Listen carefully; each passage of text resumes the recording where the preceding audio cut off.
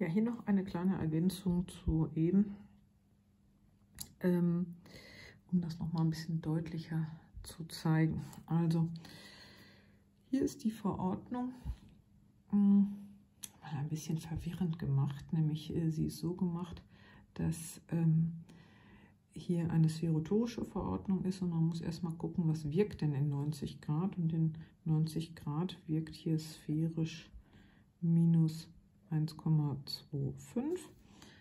Das heißt also, man geht einen Zentimeter nach oben und dann ist hier in 1,25 Zentimeter pro Meter ist dann die Basis oben. Also hier die Höhe, von da nach da die Höhe und hier von da nach rechts ist dann 1,25 Basis oben, genauso wie ich das gerade gemacht habe. Und man sieht hier, man kommt auch mit dem Stift manchmal so ein bisschen durcheinander. Ähm, hier oben, der Bildsprung oben, wenn man den berechnet, ist der 1,425 Basis unten muss man hier rechnen und dann kommt man auf diese Ergebnisse. Ich zeige euch hier einmal so die Rechnung. Und dann gehe ich hier in diese Richtung. Das heißt, hier kann ich dann gedanklich so einen Pfeil dran machen, Basis unten. Und von hier aus dann ein Pfeil Richtung Basis oben. Und hier in dem Buch sieht man dann schön diese Stelle, diese Stelle, diese Stelle verbunden, also drei Punkte. Und dann seht ihr auch, dass das schön passt. Unten messe ich nochmal nach, ob das... Ähm, oh, da sieht man allerdings auch, dass das nicht passt. Das ist schon lustig. Basis unten hm, ist ja am, warte mal, hier am oberen Glasrand. Ach so, nee, die machen das noch anders. Sie rechnen den oberen Glasrand aus. Ich dachte jetzt schon gerade, also der obere Bildsprung ist, ähm, der ist hier. Das sind also ähm, 1,425 cm pro Meter. Das ist also der obere. Das passt auch. Ich habe schon gerade gedacht, was ist denn jetzt hier los, dass das schon wieder nicht passt. Der untere Bildsprung ist gar nicht berechnet worden. Das heißt also, das sind jetzt hier genau 3 cm hätte ich jetzt hier gemessen. Das heißt, ich messe hier nochmal nach. Ähm, das sind also 1,3 ungefähr. Das kann man ja auch nicht immer so genau messen. Also von da nach da gemessen 1,3. Die Addition ist 3, dann heißt das heißt also, ich würde 3 mal 1,3 rechnen und das wäre dann hier der untere Bildsprung. Ja, obere Bildsprung unter. Also hier war nicht gefordert, äh, den unteren Bildsprung zu berechnen. Ähm, was die hier berechnet haben, das finde ich total interessant. Das würde ich so nie machen. Ähm, die haben von da nach da gemessen und dann hier oben den oberen Glasrand, den Bildsprung, beziehungsweise die prismatische Wirkung. Also Bildsprung, prismatische Wirkung ist ja letztendlich dasselbe. Die plötzliche Änderung führt zu diesem Bildsprung. Vielleicht hilft euch das nochmal, weil das gerade so ein bisschen unordentlich war, was wir gemacht haben. Ja, jetzt kommen wir zur nächsten Aufgabe. Das ist die Aufgabe 10. Ähm ja, was da ein bisschen tricky ist, ist äh, die Tatsache, dass diese Formel habe ich gerade nicht in der Formelsammlung gefunden und ich habe das auch in keiner Klasse von euch unterrichtet. Das heißt also, es hat entweder Frau Liesegang oder Frau Bauer gemacht.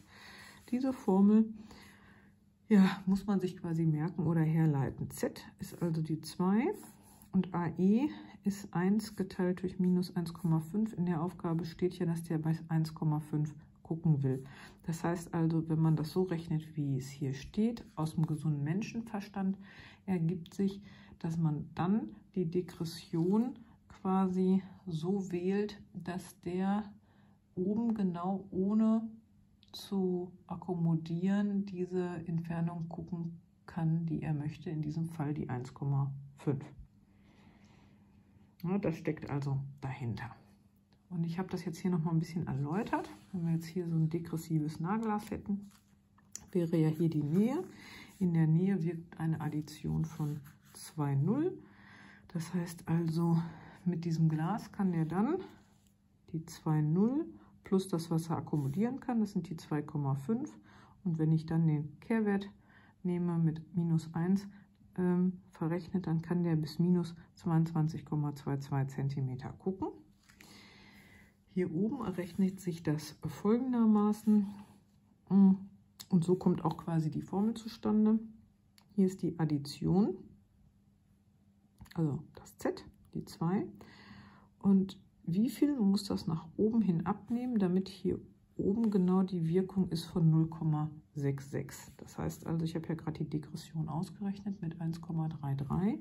Wenn die Wirkung jetzt hier oben, also von, von dem Nahteil bis nach dem, ja, wie soll man sagen, das ist ja quasi ja, die Zentrierung für die Ferne, in Anführungszeichen für den Zwischenbereich, dann wirken hier genau die 0,66 Periode. Und wenn wir davon wiederum den Kehrwert bilden, dann kann der, ist ja 1 durch Meter, ne, wenn wir dadurch von den Kehrwert bilden, dann sehen wir, dass der, wenn er hier oben durchguckt, genau auf 1,5 Meter gucken kann. Ja, so, so kann man sich die Formel herleiten. Man könnte also auch umgekehrt sagen, hier muss 1 geteilt durch minus, also 1,5, ja, das muss hier wirken. Dann kommt man auf die 0,66, das heißt also die Entfernung AE 1 durch, diese Wirkung braucht man hier, damit der ohne hier zu akkumulieren auf 1,5 Meter gucken kann. Also einmal kreisgerechnet jetzt quasi. Und wie hoch muss die Degression sein dann von 2,0 zu dem Wert, den ich gerade ausgerechnet habe. Das ist jetzt ähm, quasi ja die Möglichkeit, wenn man auf die Formel, wenn man die sich nicht merken kann, weil ich bin mir ziemlich sicher, ich habe sie gerade nicht in der Formelsammlung gefunden. Das heißt, man muss sie sich herleiten. Ähm, ich schätze mal, dass Frau Liesegang und oder Frau Bauer das ähnlich euch erklärt haben. Ähm, das ist an der Stelle ein bisschen ähm, äh, komisch für mich, weil ich jetzt halt diese Aufgabe mache, die ich eben halt auch sehr logisch und sehr schön finde, ohne dass ich das selbst unterrichtet habe. Deswegen weiß ich nicht so genau, wie ihr es vermittelt bekommen habt. Hm, wenn ihr Fragen dazu habt, wie immer, sagt nochmal Bescheid. Ich kann mich dann da gerne drum kümmern.